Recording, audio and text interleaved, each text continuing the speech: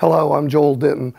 I'm the coordinator of the Peer Teaching Division at the Music for All Summer Symposium, and I have a quick tip on modeling for our student leaders.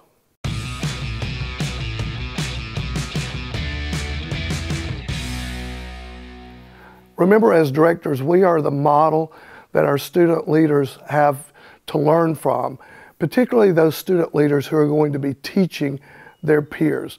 So I challenge you to do four things. First, let's be aware of what is correct. Always compliment what they're doing well before talking about what they're struggling with.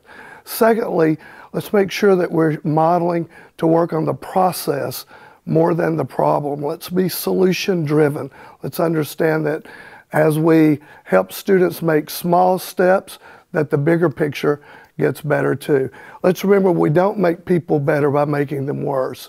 So the more that we can give them confidence, the more they're going to be open to instruction and criticism and help their improvement. And lastly, we have to enjoy our teaching as much as we want our students to enjoy their learning.